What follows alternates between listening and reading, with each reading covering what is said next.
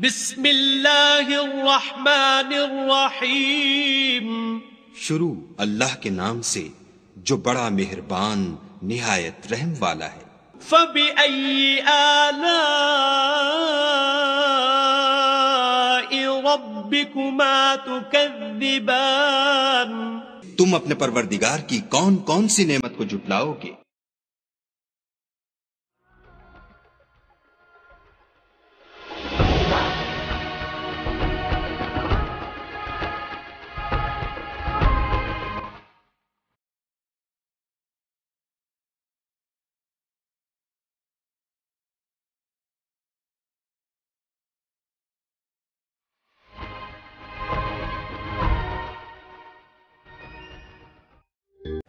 I please ask you to take a seat? I would like to welcome you all here this evening for this Orange and Frisian event. Um, before we start, can I ask you to please turn off your mobile phones? Put them on silent so there's no disturbances during the evening. I would now like to invite Qari Sahib Ahmed Baksha for the recitation of the Holy Quran. أعوذ بالله من الشيطان الرجيم. بسم الله الرحمن الرحيم.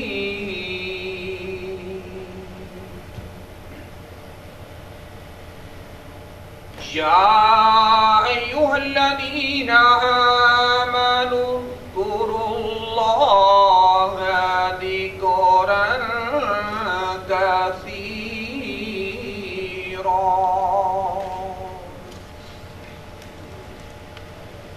وسبحوه بكرة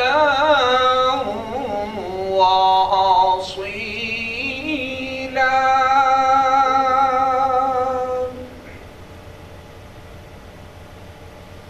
هو الذي يصلي عليكم وملائكته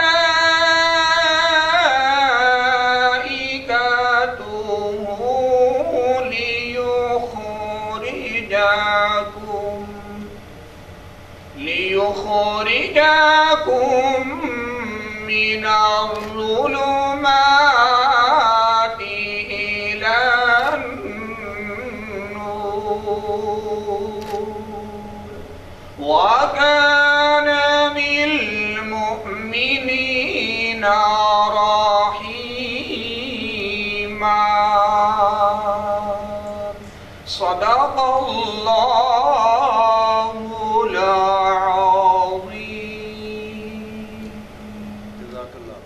I would now like to invite uh, His Excellency Frans van Rijn, Chargé d'Affaires from the Embassy of the Netherlands, to come and say a few words.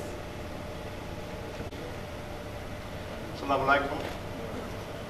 Ladies and gentlemen, it uh, gives me a great pleasure to be here tonight on stage, not by myself, but there are two fellow speakers, as well as a third guest, which I don't know the name, but I think the colors look very familiar to me. Um, black and white and orange. I think they can only mean one thing. That means dairy and the Netherlands. Um, it's nice to, uh, to welcome you all here. This uh, Dutch dairy sector event, as I said. Um, it's, a, it's a great uh, pleasure to see so many of you around. Uh, I, know, quantity is not everything, quality is more important. The quantity is also uh, not irrelevant. Maybe uh, allow me to uh, take this opportunity to introduce two of my colleagues. You've met Nabila, you've seen her introducing me as the speaker, as well as Rick, Mr. Rick. He's head of the economic affairs. When he stands up, he sticks above everybody else, so you probably have seen him already. Um, we are here today because we believe that we have a, what do you call it, perfect match. Pakistan, on the one hand, is the third largest milk producing country in the world. Um, but its population is growing fast. Um, therefore, also demand for dairy products, of course, will increase. To provide for this growing demand, the sector needs to expand. Not only expand, but also to modernize. And of course, it has many positive side effects. One of them would be the, the let's say, the increment of the uh, number of dairy related uh, skilled jobs. Now, those skilled jobs means additional income, it means growth for the economy, it means something good for the individual, and uh, very positive for Pakistan as a whole. So we, the Dutch, so to say, we have the products, the expertise, and the services to needed by Pakistan to make this required transition in its dairy sector. So that's why we are here to show you today what uh, we can do for you and with you. Uh, ladies and gentlemen, uh, at the same time, you know that the Netherlands, although a very small country, I think we're about 5% of the surface of uh, Pakistan, um, we are the second biggest exporter of dairy products worldwide. So you can be small and still be very relevant in your own typical niche market. And we are, definitely we are. So we have our high quality, our high intensity, and our high sustainable agribusiness experience to offer to you in your cooperation. At this time, maybe it's an opportunity for me to allow, please if you allow me to introduce five of the uh, Dutch companies represented here. I'll name them, so perhaps you probably know the persons who, who go together with the company names. The first is Solve Agri Pak, who's representing Solve Agri Pak. Please, in the back. Maxim International. There we are, very much in the back as well. BioLife Pakistan.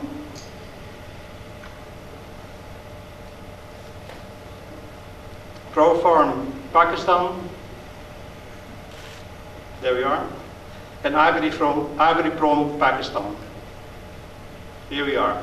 So those are at least five representatives of the Dutch industry here in Pakistan and here uh, active and uh, present uh, during the meeting. So please make use of it and connect, but probably you know them already very well. You know, this cow, this black and white cow, the Frisian, Holstein Frisian cow standing over there, it's a small one, but we were thinking of bring, bringing a bigger one, but the, uh, the air freight was a bit expensive. And you know, a Dutchman, so we are a bit stingy, so we tried to squeeze it on the cost, so that's why we brought in a small one instead of a bigger one. But you know, the bigger one look alike, only a few times bigger. But this is the um, Holstein Friesian, and I must say, the Netherlands is the cradle of that type of cow. We've bred it to perfection. We have had a leading position when it comes to the genetic quality, very important. Our Holstein Friesians are the highest milk producing cows in the world. That's not a, a, a small, a small uh, result. We have the advanced knowledge and expertise on how to feed, uh, how to care, and how to manage these animals. As a result, we have been able to improve the productivity of the Friesian cows further, raising the profitability for, uh, let's say, of dairy farming tremendously. That, of course, I mean, you're all business people here in the hall, and that is, of course, essential. So, uh, having said that, maybe, if you forgive me boasting a bit, um, I'm, I am personally very proud of being here at this event with such a splendid Dutch product. Uh, being the son of a dairy farmer myself, uh, some many years ago, I know it's many years, but uh, I still remember me milking the cow by hand, helping my father and the, the, the company uh, ahead. That was normal in those days. Well, but that's a long time ago. Now I think the scale of dairy farming is really uh, substantial, substantial here in uh, Pakistan. So I think that memory of me has has really become a memory, not only in the Netherlands, but definitely also in Pakistan. So let me not venture any further into this memory lane, but um, let me make way for the, uh, for the other speakers. But be- before doing so, I would uh, like to, well, wish you all a very pleasant, informative, and uh, fruitful evening, ladies and gentlemen. I hope to see you and just talk to you further uh, afterwards. Thank you very much.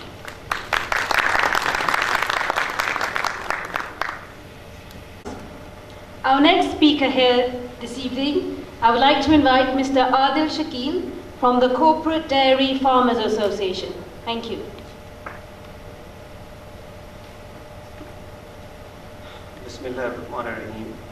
Dear Mr. Frans, Anne, Rick, distinguished guests, ladies and gentlemen, on behalf of the Corporate Dairy Farmers Association, I am highly thankful for the Dutch Embassy for giving me a chance to share my experience and highlight some possible future opportunities for the Pakistani dairy sector.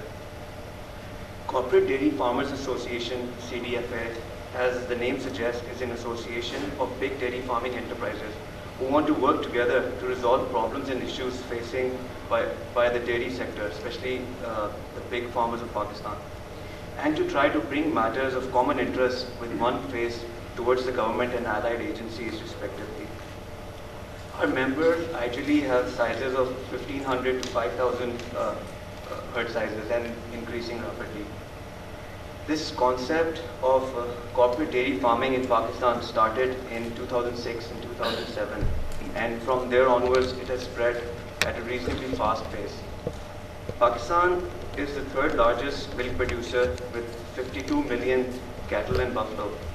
The dairy sector, which is contributing to 11% towards the GDP of Pakistan economics, which is almost 50% of the agriculture GDP of Pakistan.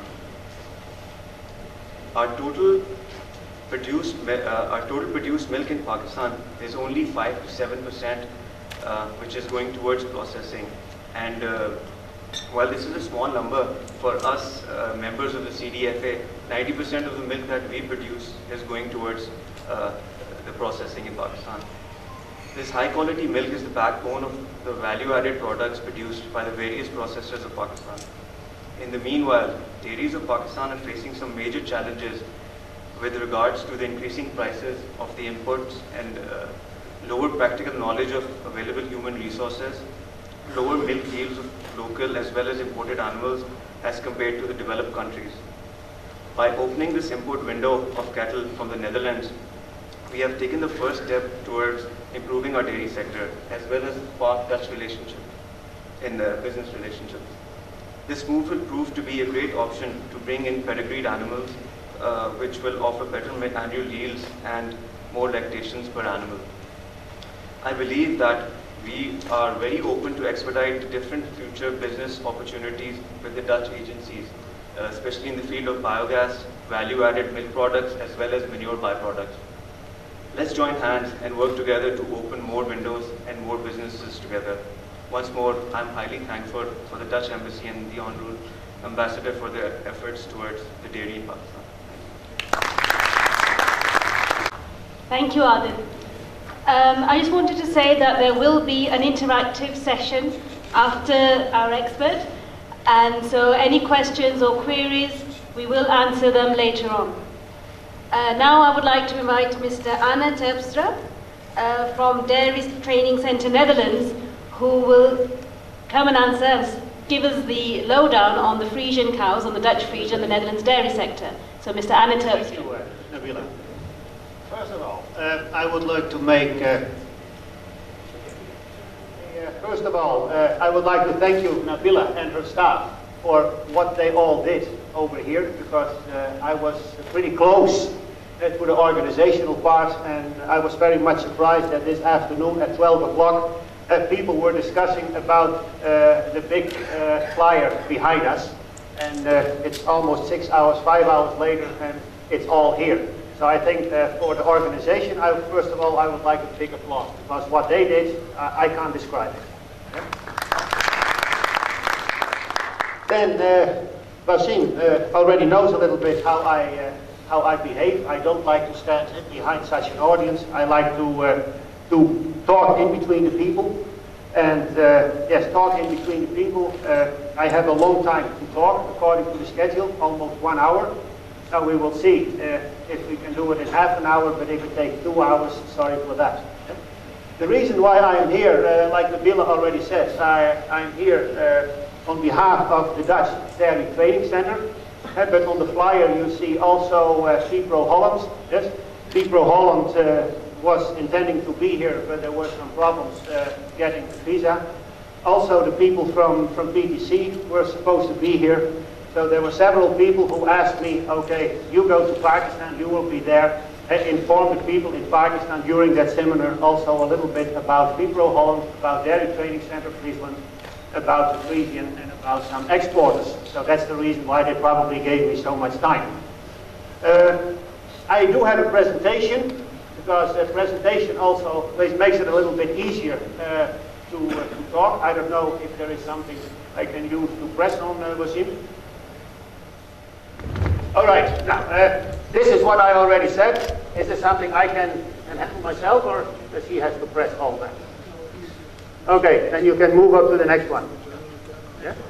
Uh, the reason why I'm here, as uh, Mr. Frans and Nabila already said, uh, tell us a little bit about uh, the Dutch cows.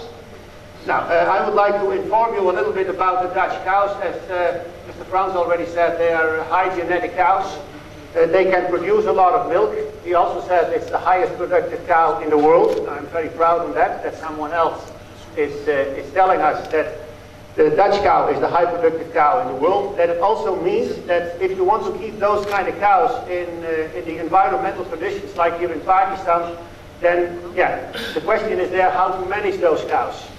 And that's what I wrote on the slide. Uh, I think that when you start talking managing cows in, in other conditions where they are being raised, then you need to pinpoint a few attention points and other people are saying, no, it's a point of concern.